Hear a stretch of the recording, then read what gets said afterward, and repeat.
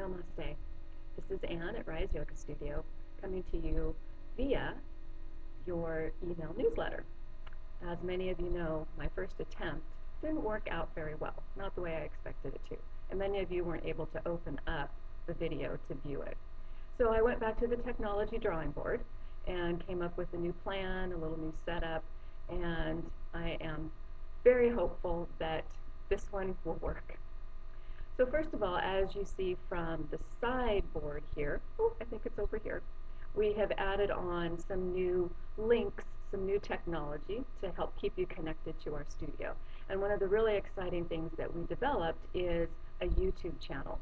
With the help of Miss Laura Hinesley, thank you very much, Laura, we have um, embedded several videos onto the channel that you'll find helpful and useful for practicing, giving you a little more background information about yoga and more information about some of the styles that we practice here and teach here. So please check it out, and if there's anything you'd like to see added to it, please just let me know, let Laura know, and we can get it on there as well. So we're really excited about that. You'll also see that below we have events and happenings going on in March and um, throughout May, so please check those out.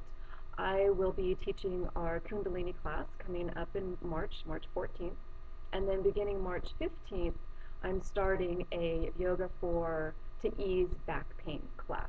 So this is designed for people who specifically have back pain issues.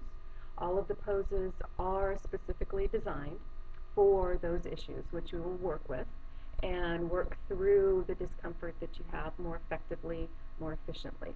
So please check that out, and if you know of anyone who could benefit from that, please let them know as well.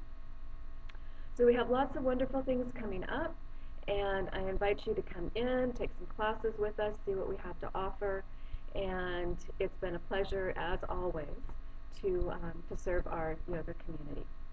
Namaste.